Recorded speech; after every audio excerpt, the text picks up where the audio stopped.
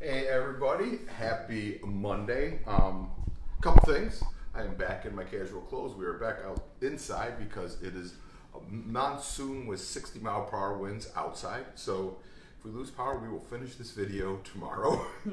Made some adjustments for sound, so hopefully everything is better for you. All right, now we are going to make a drop biscuit, or as my mother-in-law would say, a lazy biscuit. We're not doing a layered biscuit. Mother-in-law sure was from the south, so they do like you know a cut biscuit, which is kind of layered and flaky, a drop biscuit, which is a little more crumbly. Both delicious. Now over the years, I have learned tons of different biscuit tricks, both from having uh, a mother-in-law from Dalton, Georgia, and just people that I've worked around. So we have two and a uh, half cups of all-purpose flour here. And I'm going to put a teaspoon of salt. And all these tricks are, you know, they make everything a little bit different, but all the methods work that I know that I've learned. So I think that's what's kind of fun about it. Four teaspoons of baking powder. So drag this little ridge on here. That's what it's for. Level it. Boom. Yeah. Wow, you learn something new every day. Yep. And when with with baking too, when you're putting in your flour, make sure when you do the cups you level it off. I always do it with my chef knife, but you could do it with anything. If you want to put some cracked black pepper in here, you can. Optional. So what I'm gonna there's a basic biscuit method that we're gonna use here, and then I have a bunch of add-ins which aren't always like a traditional southern thing, but just add in flavors because I like them with gravy. You could just go straight bit like flour, baking powder, salt, um, butter, cream, or uh, buttermilk, and you're good. Now, we have some grated cheddar, we have diced jalapeno, you could even put lime zest, and there's, there's different things that you could add to it to kind of custom it and make it your own. I have the oven, I, in the recipe I put the wrong temperature, but I have the oven at 450, 475. It's gonna be smaller biscuits that bake quickly and get dark and golden on the outside, so they're crunchy on the outside and crumbly um, on the inside. Now, the two, my two favorite things here that I've learned through working with amazing pastry chefs um, and being fortunate enough to work with Carla Hall um, for almost eight years is my pastry chefs and Carla used to always say, you have hot hands. And that means when I work with things with butter, it melts and then you never get that flaky crumbliness that you want to learn. So there's two tricks that work that could, if you have hot hands, and I think they make it easier too. You could put your butter in the freezer and then you could take a box grater and you could grate your butter in to your biscuit. And then when you mix it, it gets those little peas that you're looking for. And you could do this with any recipe that tells you to like work like a pie crust, work that butter in. You freeze it, you grate it. Now, this is another great trick that I learned, and I actually learned this one from Cooks Illustrated. And it seemed so no way this is gonna work to me, and then it worked. You melt your butter, you let it cool, like almost come back to room temperature, which takes five or 10 minutes. And then you take your milk, your cream, or your buttercream that is really chilled, and you whisk this butter, mix this butter into your buttermilk, which makes it start to bead up because it's cold, and then you throw that in. So both of these methods work beautifully. Now I am going to, I'm to put in the jalapeno. I'm going to put in the cheese. Do we have any questions yet, Liv? Like people saying, "Oh, it's not a southern biscuit. Don't put that in there." Um, Kayla's wondering if there's anything baking powder can be replaced with. Uh, I've seen some ratios for baking powder for baking soda, but I don't think so. No. We're going to put in our corn. Um, I just had. You could use frozen corn. Um, you could use. If you have canned corn, make sure it, all the liquid is off of it. You could use fresh corn that's off the cob that you blanch real quick. Just make sure that they're all cool going in. All right, now watch this. So we take the melted butter and we have our um, buttermilk cream situation here chilled. And as you're mixing this butter in, you see how it's clumping? See that, Liv? Could you get in there? Yeah. it's forming in to those little beads or those little peas that you always see in recipes for biscuits. When you look at biscuit recipes, it says cut the butter into little peas of form. When you melt the butter, then you put it in this cold liquid. Um, you know, I think buttermilk's perfect. If you don't have buttermilk, um, heavy cream will work. And then you get this really great beaded situation. So you could use this trick or you can use the great butter trick. Um, anyhow, you're using essentially two and a quarter sticks of butter total there. And Bart is wondering if it has to be unsalted butter. I prefer unsalted butter. I feel that if you don't use unsalted butter, you lose control of the salt. Um, so that doesn't work. So I wouldn't recommend using salted butter. All right, now we're gonna pour in this liquid and mix it until it pulls away from the side of our bowl. We don't want to overmix it because if we overmix it, we we take all that cold butter, it starts to break down too much, and then we don't get those nice crumbs and crusty biscuits. So you can see it's pulling aside. If it's too wet, you could always add a little bit more flour. It's better to be slightly too wet than too dry because it's hard to add liquid in. Kevin is, is wondering if there are any big no-no items to put in the biscuits. Um, yeah, you don't want to put a steak in here. I mean, you could put some bacon in there if you want. You know, that works. Uh, I, you know, just uh, be cautious and don't put too many in, or it's going to just turn into a rock. All right, you see how this is pulling apart from the side, so it's Yeah. slightly sticking, but pulling away. That's the situation we're looking for. There's no more flour in the bowl. As you go through here, the flour is mixed evenly into our dough, but we're not overworking it to melt that butter. What else do we got with questions, Liv? Um, vacation pics. Hmm, interesting. They're wondering if there were any leftover pork chops yesterday. Oh yes. Well, look, they're actually. I put a ham gravy. We didn't make ham yet because I thought I was going to make ham for Easter. Um, I couldn't find ham, so we made pork chops, and the leftover pork chops are going to go into our gravy. So yes, we have leftovers. All right. Now, next I have a baking sheet. I have it lined with a silpat. You could line it with butter. Any way it works. And my pastry brush. And I have a quarter cup measure and a little bit of melted butter. I'm gonna just butter the inside of my measure. And we're gonna scoop these out, level them off, and drop them. Scoop level, drop. When they start to stick, just rebutter. And you could see how, I mean, this, you want, the, the key to anything, I think, you guys, is you want to make them as easy as possible and not disrespect the history. You know, like the first time I made, I first started dating Liz, she said, "Oh, my mom's from the south," so I did a dinner and I made biscuits, and and they they, they weren't good, and she just was like, "Oh, I, I'm going to teach you how to do this." So, you know, whenever you're taking a shortcut, make sure the shortcut doesn't hurt the end result, so to speak. All right, these go in 475. I'm do one more tray. A lot of people are wondering how to make buttermilk. Uh, You, you, it's, it's too- you could look at the recipes online. You could take cream and essentially sour it um, with a little bit of um, lemon or vinegar. But I- I mean, maybe they just can't find it in this time. It's one of those things. I just buy. But you you could make your own sour cream. You could make your own buttermilk. Just Google make buttermilk, make sour cream, and it'll they're they're all there for you. Kathy's wondering if you could make the dough ahead of time and then freeze it for later. I wouldn't recommend it. Um, I make it and I go. It comes together in seconds. Um, you know, some things freeze great, some things don't. This doesn't freeze great. You know, so I would. Um, I'd make the dough as you need it, And again, it comes together in minutes, and then you could just bake away.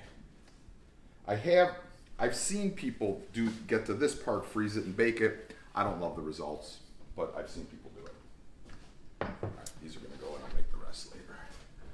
Any other questions, Liv? Um, yes. Uh, there's a, been a couple people actually that asked the difference between a scone and a biscuit. totally different beast. Um, a scone is heavy and dense and much more crumbly. A biscuit is more leavened and light, very buttery, very flaky. I, I gotta be honest. No offense to those who come from the scone parts of the world. I hate a scone. I am not a fan of like scone. I, I don't like them. Give me a biscuit. Give me a, a muffin. give me a croissant. Give, I just think there are so many better options than that. So here we have yesterday's pork chops, leftovers. I'm going to dice these up. And since I didn't have ham, even though we did these on the grill, I wanted a little bit more of a kick of uh, smoke. So I put, I chopped up two pieces of bacon, which I just have crisping in the pan um, right now. And we'll add this to that situation with couple tablespoons of butter. Um, a couple people were wondering, could they use parchment paper for the Parch- biscuits? parchment would work fantastic. Parchment would be a, a, a, a great option um, in place of the Silpats. Silpats, if you guys haven't used Silpats, you know, there's something that you see in the restaurant industry all the time. Um, I would highly recommend getting them. They're not that expensive. They last forever. Like the ones that ones that we have at the restaurant, we replace every I'd say 18 months or so. Um, at home, I've had these for six, seven years. You know, because we're not using them constantly. But things release beautifully on them. They're also great to put underneath a cutting board, um, so your cutting board doesn't slide around when you're using it. So they have more than one use, and I highly recommend getting them. So bacon is going. I put in uh, two ounces of butter, and there's a, a little bit of bacon fat in there. So two ounces of butter, two ounces of flour, thicken a quart of liquid. So we have our butter, our bacon, our onion. I'm gonna turn up the heat to medium. I'm gonna put in a small pinch of salt because the bacon has some salt already to it. I'm gonna let that start to break down. And then as soon as that starts to break down, I'm gonna add my pork and kind of warm that through. And then I'm gonna add my flour. Now in the gravy, there's spices that you could add in there if you want. Uh, sweet or smoked paprika would be nice. Cayenne would be nice. A bunch of black pepper would be nice. Um, some people even, let's put in a little bit of, put in a little bit of paprika just for fun. Um, some people like to put a, after with their liquid, they like to put a shot of espresso in there, like a, a red eye gravy. You know, all those methods I like and I think are solid. What did I do with my bench pepper? All right. So now we- our leftover pork goes in. This is obviously already cooked, but we're just gonna get a little bit of caramelization on there and release some of that fat into our other fat. So we have one big fat hot tub of happiness, which we like. Whole mess of cracked black pepper. a couple people are wondering if you can remind them where to find these recipes. You could find these recipes on the Food Network Kitchen Facebook page. You could find them at Chef Symon with the Y um, on uh, Instagram or on my Facebook page. Now flour, two ounces again, two ounces of butter, two ounces of flour, quart of liquid.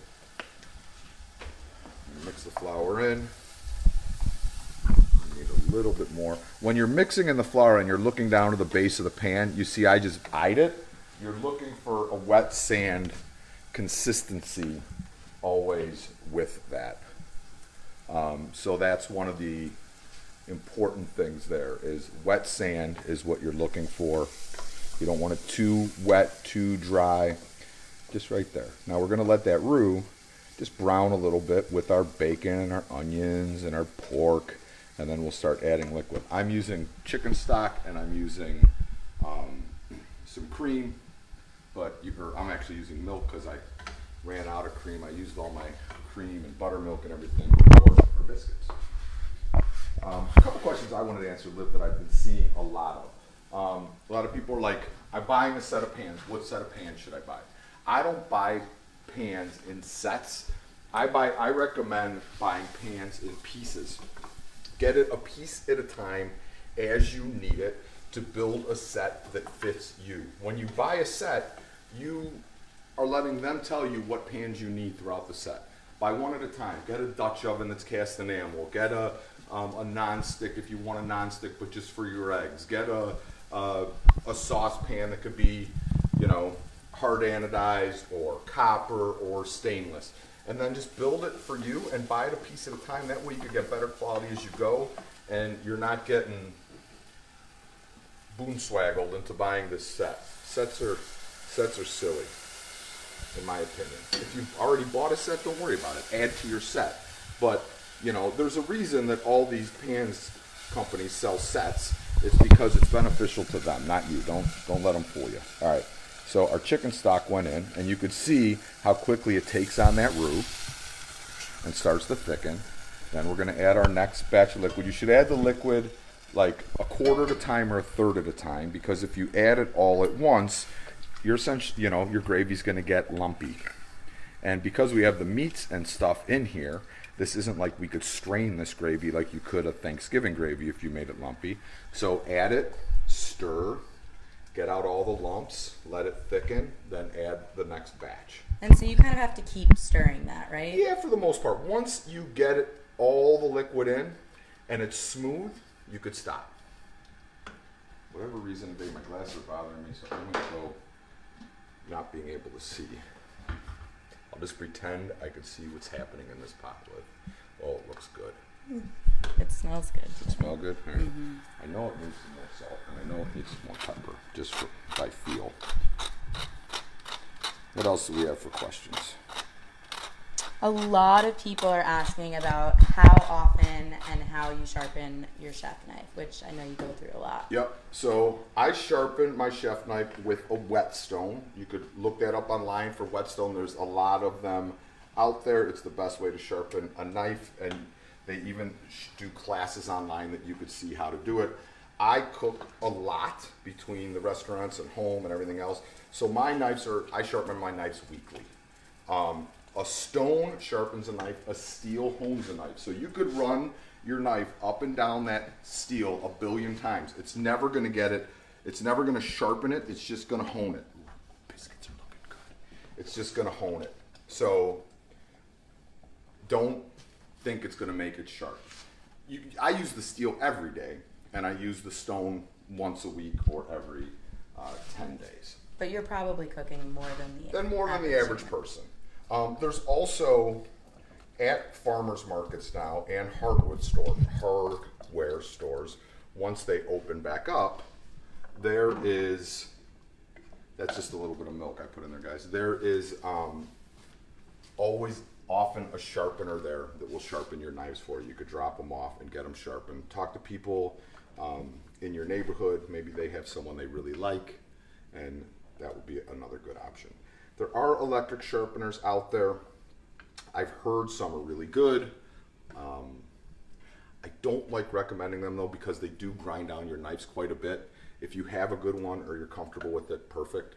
Um, but I'm afraid to recommend them because someone's going to have a knife and then grind it down to nothing and go from like a chef knife to a boning knife. The other thing with a knife is, save my stuff for stock, is 95% of what I do, I do with a chef knife. This is an 8 inch, get a size that's comfortable for you, a 6 inch, an 8 inch, a 10 inch, whatever you prefer. Um, and it's really the only knife you need. Much like the pans, don't buy a set. You don't need a set. You know, serrated knife's not a bad thing to have. Some people like a paring knife, so a paring knife is not a bad thing to have. But I look at some of these knife sets. There's like 20 knives in it. Like I looked at one once. It had a knife in there that said tomato bagel knife. Like my chef knife can't cut either one of those things, or a serrated knife can't cut either one of those things. It's funny. So I, I'd rather see you instead of spending X amount of dollars for this whole set that you're not going to use all of them. Find one that you love, spend the extra money on that, and that's what you're going to do most of your work with anyhow. Let's see where gravy is.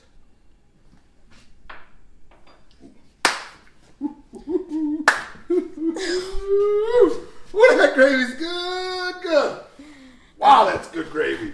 We actually had a fan ask if the stock should be warm before you add it to this. It helps. It doesn't make it. If it's not warm, it's just going to take it a little bit longer to come up to temperature, obviously. Um, but it's not going to be end of the world one or the other. A lot of recipes say, "Oh, it's got to be warm." It doesn't have to be warm. It just makes it easier because if you're adding warm to warm, it gets comes to a simmer quicker. You can see there's no lumps in here. It's nice and creamy. Got our pork. It's going to keep thickening up as it when it, every time it comes to a simmer, it absorbs the flour and it thickens. So in a per, you know in a perfect world between cooking out the roux and simmering your sauce, this is like almost like a cross between a velouté and a bechamel because it has milk and stock. Um, 30 to 45 minutes, you would cook this total to get all the flour cooked out. Um, so if if I wanted to make this a little bit of a longer class, we'd wait until this was completely done. It's still going to be delicious the other way, but the longer it cooks, it cooks out the taste of the flour a little bit, so it just it tastes a touch better. So if you could let that go 30 to 45 minutes between roux and simmer, you're in good shape. What else lives? I am genuinely surprised how many people liked your happy dance right now. Oh God. Liv, you know, Oh God. I know you're like it's questionable. I know you're like half my age, and, and you know the kids don't move like this anymore. But t- t- t- Oh my God. stop. Make it stop. yeah, come on, '80s people, tell them we knew the club scene. You know these kids. Olivia, she's good friends with Kyle, our son. They make fun of us all the time. We had clubs when we were growing up too. Liv, we Oh could my dance. God. We could dance. It takes two to make a single right.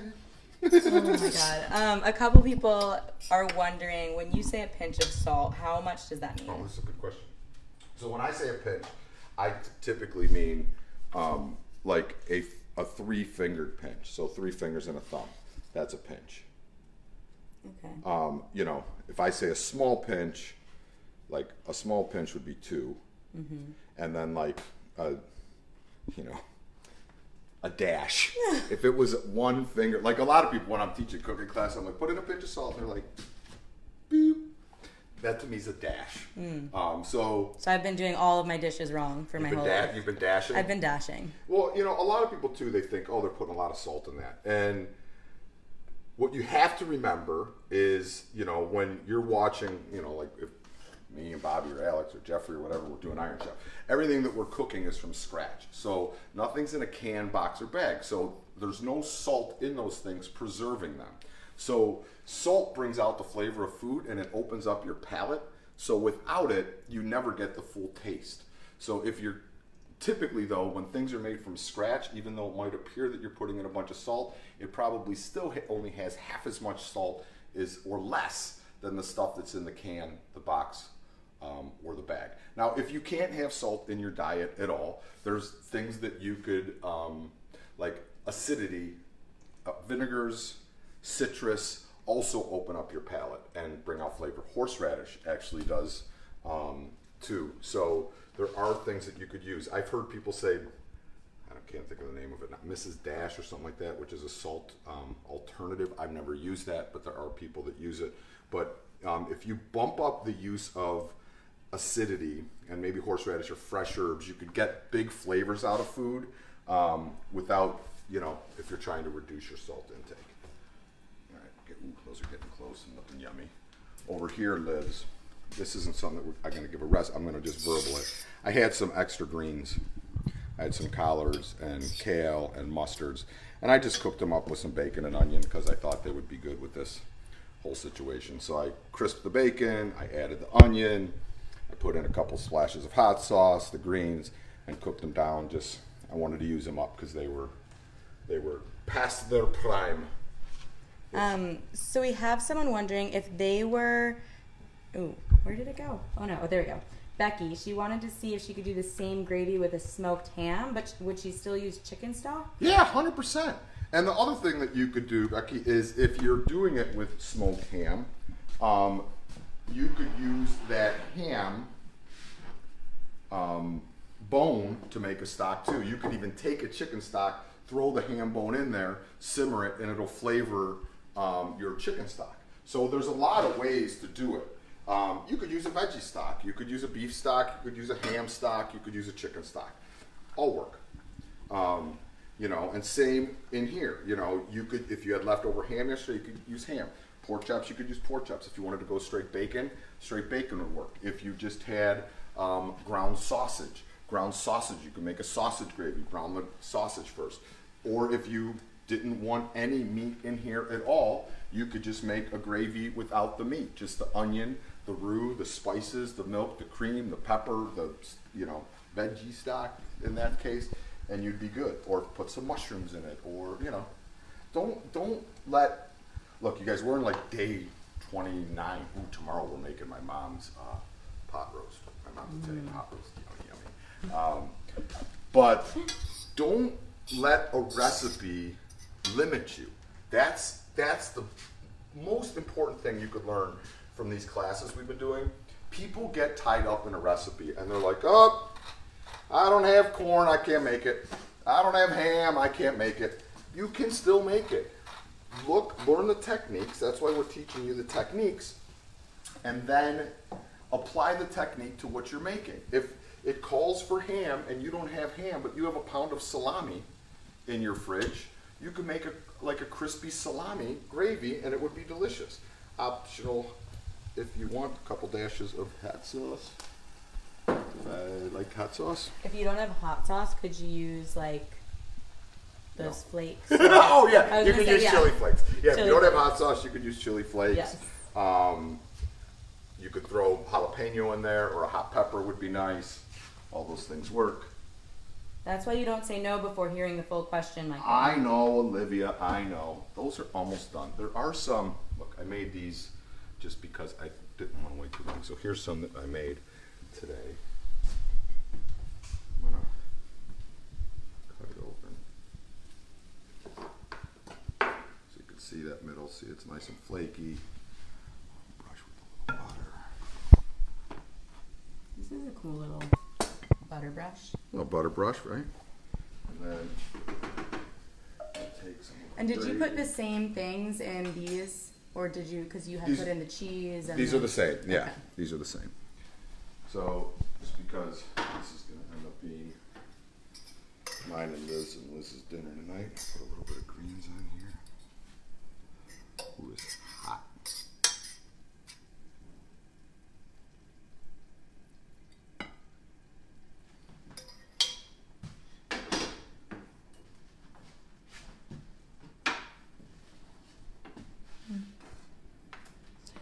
Michelle's wondering what your opinion is about green hot sauce.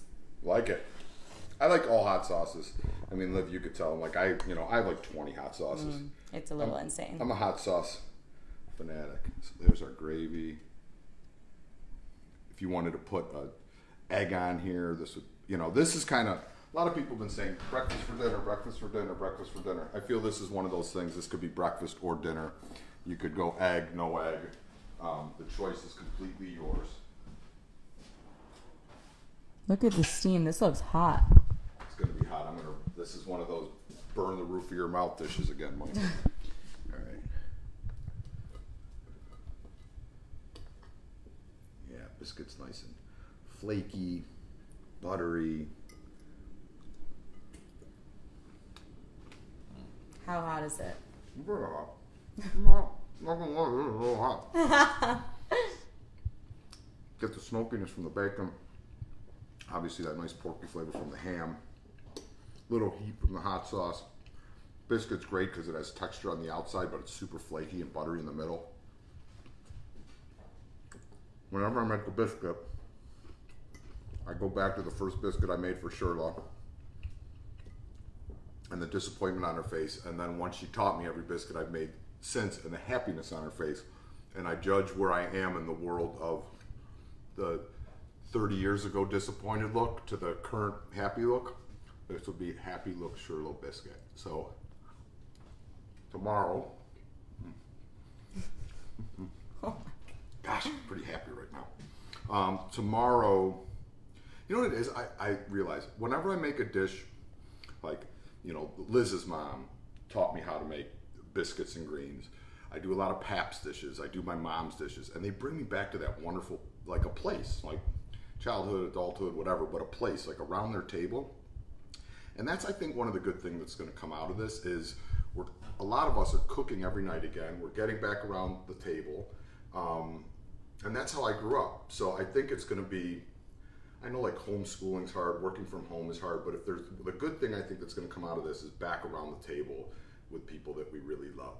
Um, even like yesterday, Liz and I were around the table, and Olivia was here. But then we, um, uh, what do you call? It? We zoomed our parents and ate with them a little bit too, and it was kind of great. So that's it. I'm gonna get a little emotional. I'm sorry.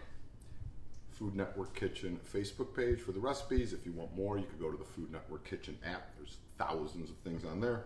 Um, and my Instagram and Facebook page at Chef Symon with a Y. I will be back at 5 o'clock tomorrow. And tomorrow we are going to Italian style pot roast. My sister is going to be unhappy that she is in Columbus and not with us, but Nick, I'll make it next time we're together as a family. I love you guys. See you tomorrow.